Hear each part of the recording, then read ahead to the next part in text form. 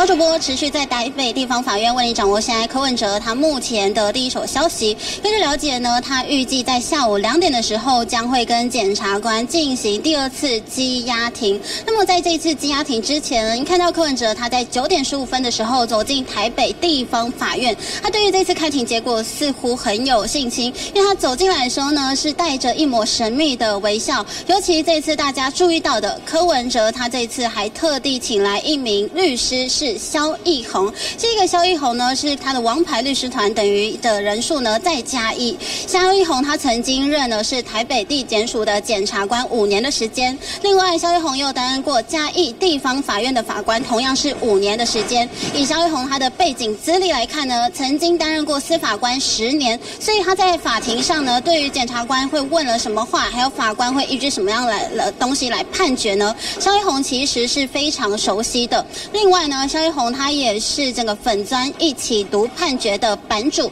这个一起读判决啊，其实大家如果不懂法律的人人的话呢，都有看过。因为这个判决的粉砖的人数呢，已经有超过一点三万人了。所以可以看到，柯文哲他这一次在找这一名律师萧一红呢，就是希望为他的家庭做做好了准备。不过同时呢，检方他们提起抗告也有出招了。尤其检方他第一招呢，就是先来限制阅卷，也就是说。呢，在整个律师看这次检方补强的市政来看呢，同样的律师他是可以看卷证的，但是他不能把卷证整份都影印带走。他们同样要用手抄的方式记下一次。这一次高院他提示的部分呢，包含了柯文哲他究竟对于整个金华城的弊案是知悉，还是说他说不知道就能唐突带过吗？另外还有就是这一次呢，彭振生跟邵秀佩的证词也是直指柯文哲，还有包含关。见证人朱雅虎跟应小薇他们两个手机的对话记录，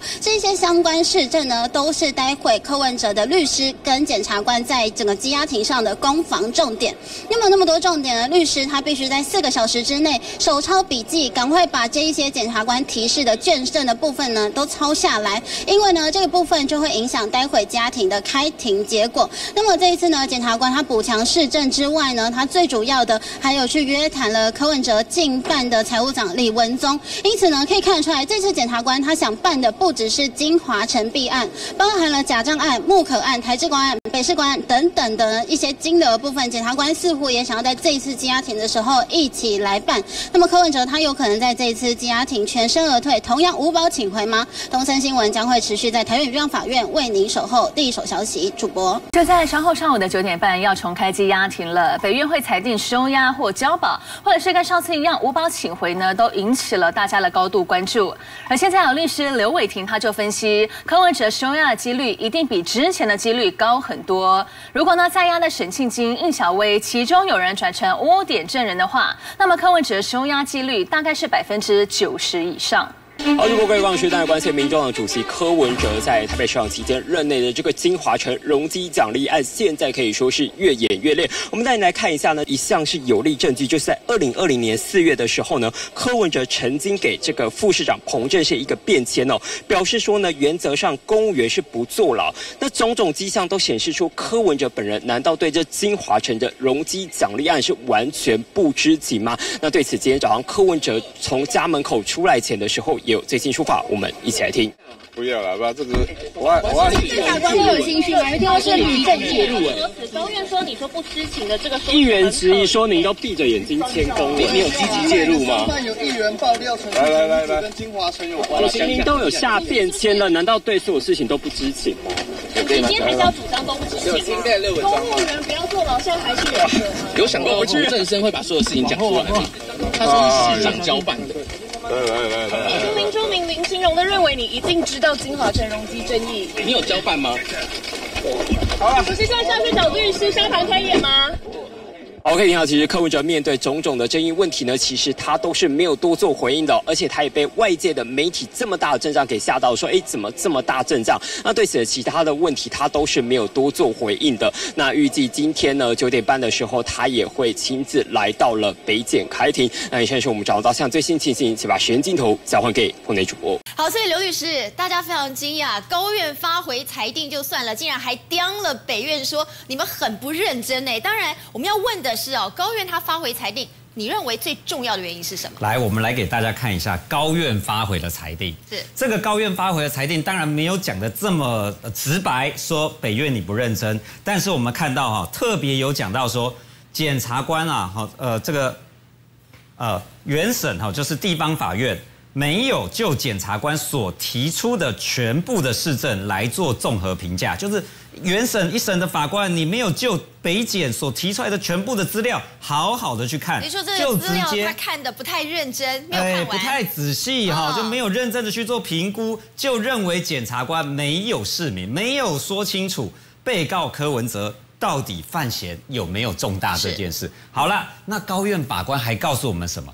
他告诉我们，北检其实在他的资料里面，哪些讲到柯文哲，而使得认为柯文哲范闲重大。第一个，朱雅虎啊，这边有提到说啊，彭正生，好，彭正生的证词，他的供述，朱雅虎的供述，还有证人邵全军，就可能就是那个邵秀佩，邵秀佩的供述，这三个人讲的话都讲到了柯文哲，所以这也就是说呢，有两个关键人物出现了。那么高院看到了，第一个就是朱雅虎，第二个邵秀佩，甚至彭正生，他也说了什么？对。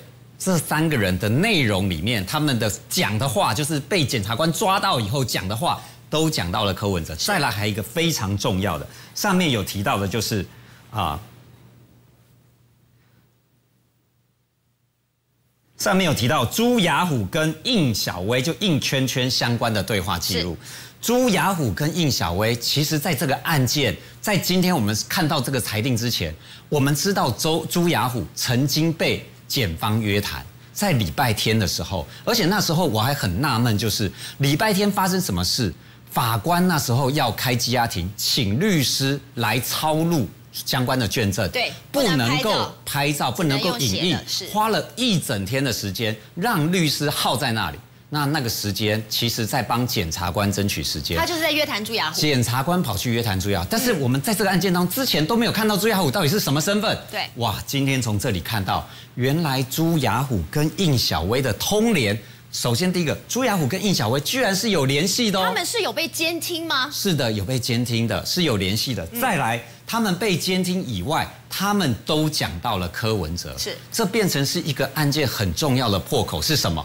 我们大家大概知道。沈庆金花了四千多万给了应小薇，对那应小薇这些钱去哪里呢？目前我们是问号，对但是呢，从高院法官上面写的，原来应小薇跟朱雅虎有联络，而且提到柯文哲，是高院法官就认为说，好，当沈清的汇款可能到了应小薇这边，应小薇这边很可能去的是朱雅虎，朱雅虎他的这个金流的流向，难道是流到了柯文哲那边吗？我们不了解，可是至少从礼拜天检察官去问了朱雅虎，问的是相关什么内容呢？是呃，柯文哲用个人的钱去买了一个四千三百万的商办，那时候是朱雅虎来担任那家别公司的忘了是董事长。他是跟谁买的，柯文哲就是跟朱雅虎买的，不是吗？是的，然后朱雅虎又是沈庆金一个，你看他这边特别提到，朱雅虎朱圈圈受雇于沈庆金的目的是跟柯有关。再来，沈庆金行贿应小薇，好、犯嫌重大。最后还有一句哦，被告就是柯文哲积极介入金华城案等客观情况，也就是高院法官认为。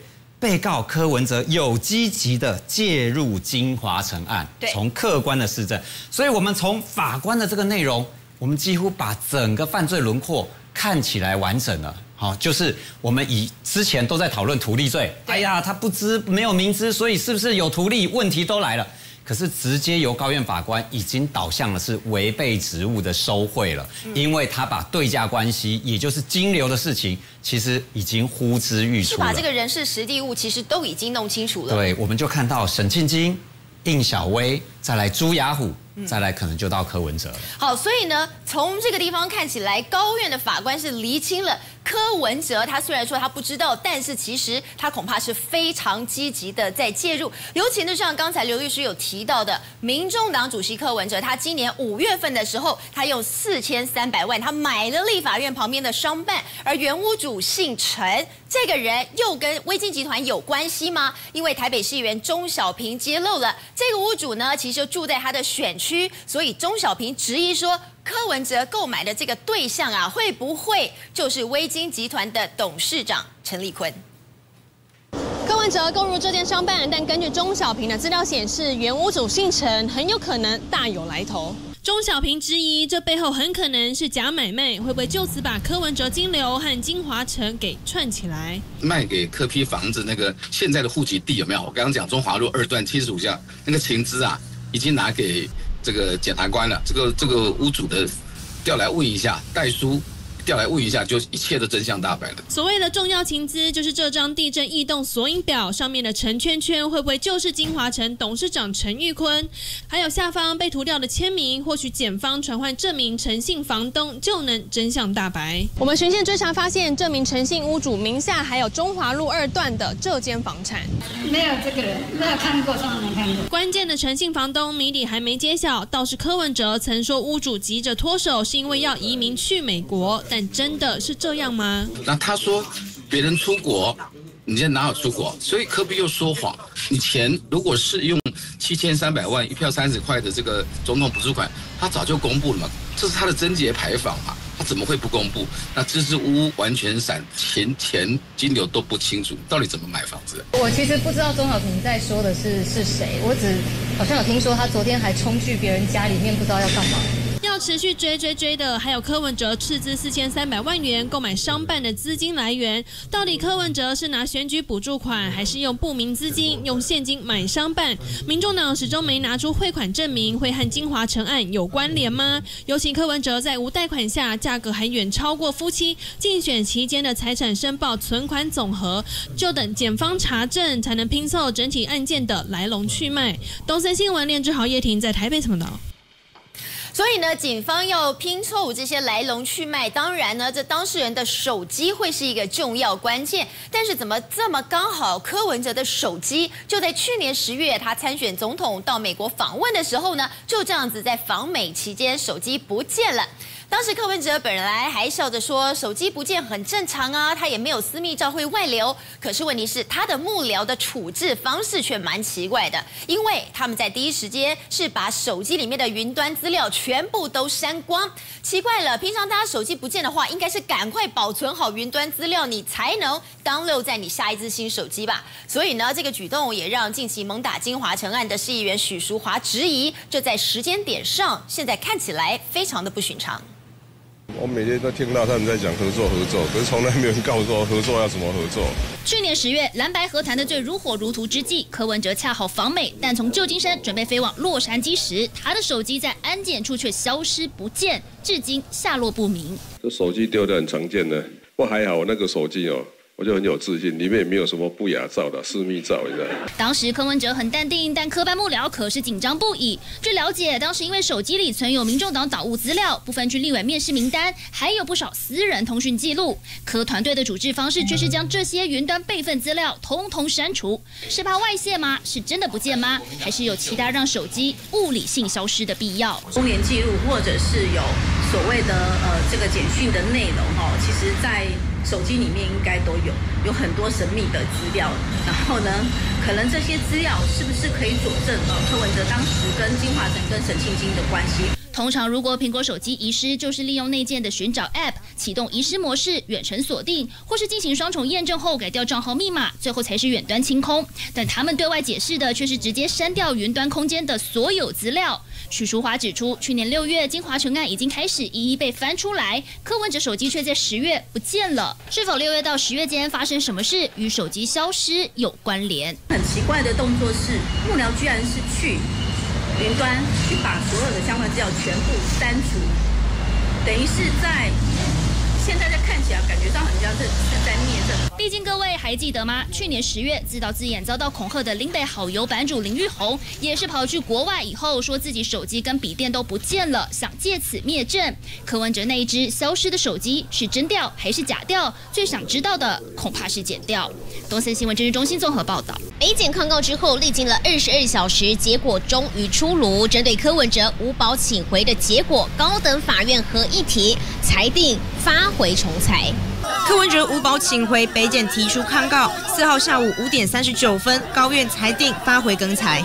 裁定理由包括高院法官认为，检方明明在八月三十一号密讯朱雅虎，还把都委会执秘前副总工程师邵秀佩找来当证人，厘清金华城案的容积率等相关问题，还提到朱雅虎担任沈庆金子公司的董事长，关系密切，认为柯文哲明明积极介入金华城案，但地院法官却采信柯文哲主张，相信专业和都委会，更表示应该要综合评估检察官提出的市政，因此发回地院更裁。而这回高院也罕见公布合议庭法官，包括审判长许泰成曾任导扁红衫军以及八一三占领立法院行动审判长，受命法官钟雅兰曾审理关西机场事件，卡神杨慧茹以及友人蔡福明利用网络论坛侮辱外交官驻大阪办事处，陪席法官则是魏俊明，被法界称为杀手级法官，以严格出名，绝不轻判轻饶。而再一次开羁押庭，柯文哲会遇到哪位法官？虽然还没有公布，但可以知道的是，压力会是其他法官扛。不知道有没有什么话想说？另外，时任北市副市长彭振生遭羁押禁见，律师不服提抗告，却因为抗告状上彭振生本人没有签名，高院合议庭将等补证后裁定。东森新闻尤雅欣、洪世婷、张信坑、何云婷台北报道。金华城的关键变迁也曝光，周刊再爆出来，柯文哲早就知情，还写变迁给彭振轩。议员苗博雅更炮轰柯文哲是在图利跟无能之间选择了无能。最新连线记者周佩宇佩宇。好，直播观众持续带您来关心民众党主席柯文哲的最新状况哦。柯文哲呢，现在是卷入了金华城的弊案，不过呢，他频频说自己不知道这个金华城百分之八百四十的容积率。但是今天呢，最新的状况是周刊又报道说，其实早在二零二零年的时候，在金华城的公文上，柯文哲就写了一份便签给彭振生，上面写的是什么呢？是写说原则上公务人员不坐牢。但是这就觉得很奇怪，为什么会提到这个坐牢的这两个字呢？是不是代表说柯文哲早就知道这件事情可能会涉及违法？现在呢，议员苗博雅有最新说法，我们先带您来听。现在还装不知道？好，我觉得他是在图利跟无能之间哦，选择无能嘛，因为无能在法律上是无罪。不过不只是我咨询啊，我认为在所有都委会的会议记录跟公文里面，好，其实都已经讲过说这案子有司法性的疑义。所以柯文哲要一推二五六说他都不知道，那唯一的一个可能就是他是闭着眼睛盖公文的。哦，您可以听到苗博雅的说法，就是说柯文哲是在图利和无能之间呢选择了无能，因为这相对来说在法律上比较不需要负责任。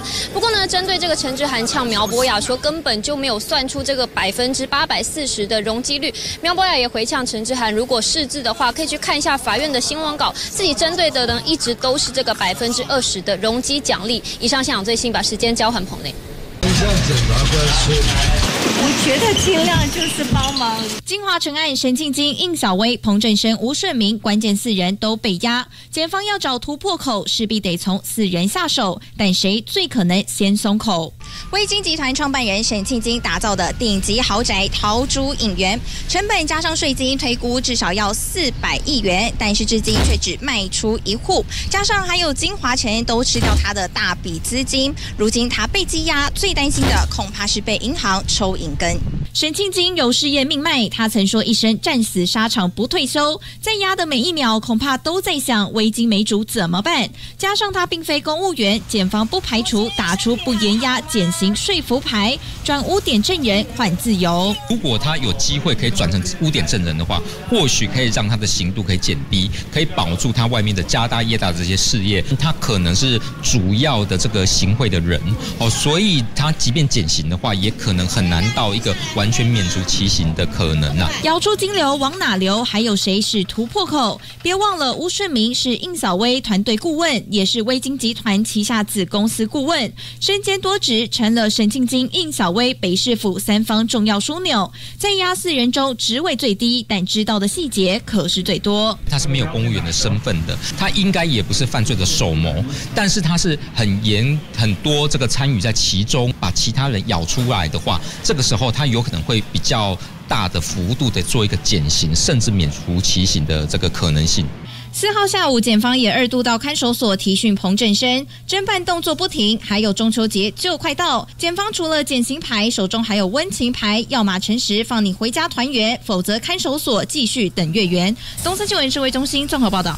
其实你亲笔交办金华城，现在还写报出说写便签给彭正，有便签这件事情，受访哦，是只会讲一下，学姐要说这句话。彭正三分人因为封杀被压，然后你怎么看？要安排记者会再来。一早走出家门的柯文哲，面对媒体追问，面无表情，但各种争议排山倒海，柯文哲心里的焦虑恐怕不像表现出的这么淡定。从住处前往机场，心情似乎也受到影响。什么时候对外说？针对北检，要不要看看？你们不要找找找吴一宪安排？一看到记者出现，柯文哲先是仰头，后是皱眉，神情非常苦恼。何时要开记者会？柯文哲没说。面对各种争议，柯文哲没回，拉出吴一轩来。当挡箭牌，但同样卷入金华城案的彭振生就没有这么幸运。柯文哲、彭振生两人遭遇大不相同。无保请回的柯文哲来去自如，反观彭振生已经在土城看守所蹲了两天，也难怪传出彭振生抱怨为什么是自己被压，更向法院提出抗告。对比柯文哲都不知道的说法，彭振生听到不知作何感想。除了金华城案，柯文哲的假账风暴持续延烧，尤其时任进总财务长李文宗从证人转为被告，涉嫌伪造文书，以两百万交保，还被电子监控。但回顾当时记者会，李文宗脸不红气不喘，负责任的说自己完全不知情，和柯文哲如出一辙的说法，能否让李文宗全然脱身？剪掉还在追查。如今柯文哲一改先前态度，低调再低调，恐怕他也知道五保请回后的世界只。会是腥风血雨，并非风平浪静。东森新闻综合报道。好，那么在合议庭召开的同时，那么有关于金华城越来越多的关键人士，还有新的名字浮出了台面。国民党议员钟小平爆料，时任都委会执秘刘秀玲，在当年因为拒绝放宽金华城的容积率，而被当时的柯市府打入冷宫。连线给佩宇。好，直播观众持续带您来关心，民众党主席柯文哲呢涉嫌图利金华城。现在呢，国民党议员钟小平更爆料说，其实呢，在都委会里面有一位执秘叫做刘秀玲，而刘秀玲呢，当时其实是反对放宽金华城的容积率的。没想到呢，就因此被柯市府给打入冷宫。现在呢，国民党台北市议员游淑慧呢，也针对这一位刘秀玲呢有最新说法。我们先带您来听。我记得我在市政府的时候，他是在副市长室帮忙，是一个非常优秀、专业的公务员。对，那但是小平议员讲的那一段，我不太清楚。对，我不知道他有没有被冷落的感觉哦。但是我只能说，在那一段时间里面，都发局跟都委会其实是战战兢兢在处理这这一个金华城的案子。好，您可以听到尤淑薇他是表示说，到底刘秀玲这一位执秘有没有被打入冷宫呢？这部分他不清楚。不过呢，他可以确定的是，其实呢，在都委会里面的相关人员做事情呢，都是如履薄冰、战战兢兢的。不过呢，我们也可以关注到的是，到底民众党主席柯文哲和财团之间的关系呢有多紧密？据他所说呢，他只和沈。已经唱过一次歌，不过呢，民进党的前立委高嘉瑜就出面证实说，其实不止一次。我们先来听高嘉瑜的说法。有议员指称有远房的亲戚等等哦，都有到过桃珠影园。那请问是什么样的关系，让柯文哲开始可以跟这些财团大老板们培养出这样的情感？甚至说财团也是市民哦，财团这个需要帮忙的时候哦，他也会尽量的帮忙。沈庆金是在整个金华城案的一个相关不断要求台北市政府抗放宽容积率的利害关系人哦，跟市政府有非常密切的往来。在这种情况之下，你跟他纠扯不清，甚至还培养出接受慰劳这种上对下的关系。这个就是大家所质疑的。好，其实呢，先前柯文哲就曾经说过，是因为选后未落的关系呢，有和沈庆金唱过一次歌。不过呢，就被爆料说，其实在选前呢也有一次。而高嘉宇也质疑说，其实柯文哲和台财团之间的距离呢是非常接近的。就连他的前幕僚柯玉安也都出面说，其实柯文哲的私人手机呢都是在和这些大财团的老板进行联系。以上呢，现场最新，把时间交还棚内。我的钱每一分每一笔都是清清楚楚、干干净净、明明白白来的。真的是这样吗？真的干干净净、清清楚楚吗？现在周刊又爆料，简联从柯文哲的政治现金假账破口，顺藤摸瓜清查了柯家相关的金流，扣掉了薪水、演讲、稿费、版税之后，发现账户还是有七百万元收支不符。过去就曾爆出陈佩琪多次带着大笔现钞到 ATM 存款，金额达到上百万元。民众党当初解释，这里头有一部分的三百万元父亲遗产，也有柯文哲的通告费，还有稿费等现金酬劳。于是他每隔一段时间就分别存进儿女户头，作为孩子成家或投资基金。但这户头存进的是台湾户头，并非柯文哲儿子在日本的户头。这金流真的有清清白白吗？都已经爸爸过世大概四五年了，才在存这些钱，不是非常的奇怪吗？那个时候柯文哲有很多的通告吗？那时候柯文哲有很多的演讲吗？而且我们知道，所谓的演讲费应该都会入户头嘛。不止遗产过了四五年才以现金方式存进户头，很奇怪。现在争议又多了一个，也就是陈佩琪儿子当时在日本，他却存在儿子的台湾账户，这该怎么作为生活费使用呢？也因此，简联没有采信这样的证词。种种的迹象，我觉得按照常理来说，这是完全没有办法说服人的。柯文哲的说法跟陈佩杰说法一变再变，我觉得是不是心虚呢？他们有自己独特的记账法，把钱用得越来越复杂。柯文哲主席其实很少上政论节目哈，所以大家也在怀疑说，这些通告费是不是穆可跟民众之声给的呢？夫妻俩极力撇清这样的不明金流与金华城案有关系，柯文哲也说不知情，坚决否认犯罪。但随着金流被抽丝剥茧，流去哪，或许证据会说话。东森新闻政治中心综合报道。彭振生的委任律师李月阳三号晚间律检结束，从看守所出来，改打健康牌。受访透露彭振生的身体状况，因为他身体比较不舒服，所以就在里面可能比较久了一点，可能这边的环境的关系，所以他可能比较不适应。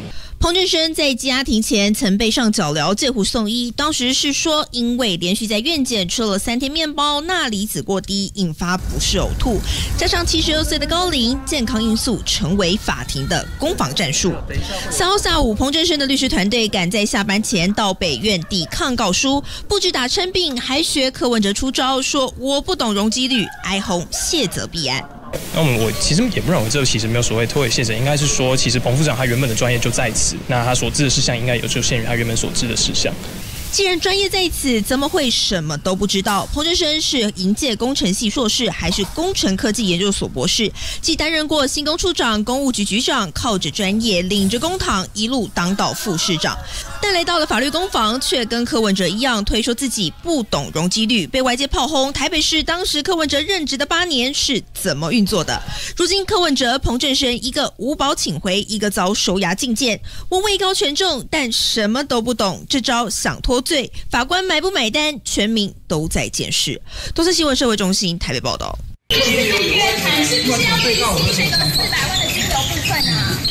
曹曹曹长不用这样子，不用这样子。走出法警室，看到媒体镜头，一度伸出手来推，他就是时任科技办财务长李文宗。因为深陷柯文哲假账风波，而这已经是他第二度被约谈，身份也大不同，从证人转成被告。最大转折就是和金华城案有很大关系。因为光看三十一号凌晨，柯文哲不满遭约谈，检方却频频问穆可金流政治现金，就是因为检方质疑穆可公司和金华城案两者之间。有金流交错，再加上检察官通常都是对所搜集的证据全盘掌握后决定侦查或讯问顺序。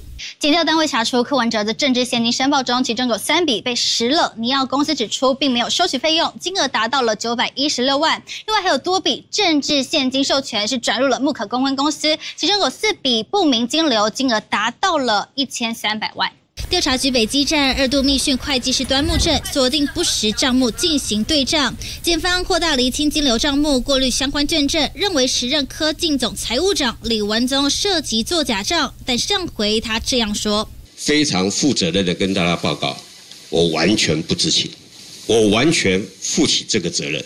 不仅曾深深鞠躬道歉，强调都不知情，如今证人转列被告李文宗被以伪造文书罪以两百万交保。检方从金华城图立案一路查回木可金流，尤其柯文哲深陷多起重大弊案，金流肯定更错综复杂。若任何一个环节交代不清，恐怕都会让自己深陷危机，想轻松脱身真的不容易。敦新闻范继文、彭新勉 S N G 小组在台北报道。检方准备柯文哲、金华城案抗告的同时，针对木可金流再发动约谈，主要就是要查明中间的账目有没有关联。这是约谈，是不是要被薪水的四百万的金流部分啊？呃，曹曹曹长不用这样子，不用这样子。时任科进总财务长李文宗没想达只想走，因为深陷的是柯文哲的假账风波，第二度被约谈，从证人转成被告，因为他让检方把金华城案跟木可假账案串了起来。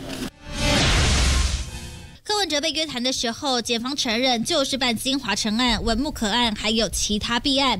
还发新闻稿强调，都是对所搜集的证据全盘掌握后决定侦查或讯问顺序，暗示已掌握木可疑似就是沈庆金款项流入柯阵营的重大管道。检六质疑沈庆金是否有透过其他名目向木可购买周边产品，这笔钱干干净净流入谁手里？为此，调查局二度密讯会计师端木正，锁定不实账目进行对账，发现柯文哲的总统竞选资金管理混乱。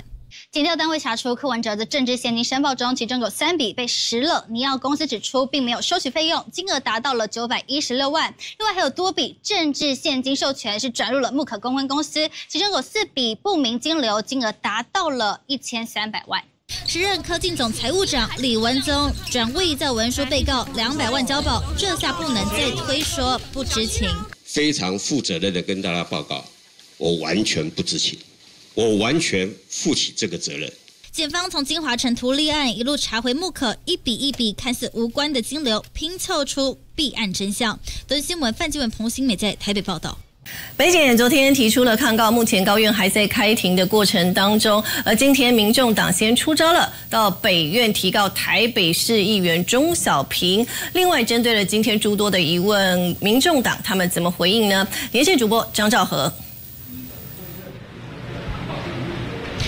好，现在柯文哲跟检方的第二战正在开打。最快高院的裁定下午就会出来，最晚就是到晚上，我们可以继续来期待。不过今天早上，民众党特别的生气，他们来到北院要来提告，对象是台北市议员钟小平。原因是因为钟小平在节目上面讲说，金华城有五亿的公关费，其中三到四亿都在柯文哲的口袋里面。尽管民众党说你要出来澄清，但是钟小平不理。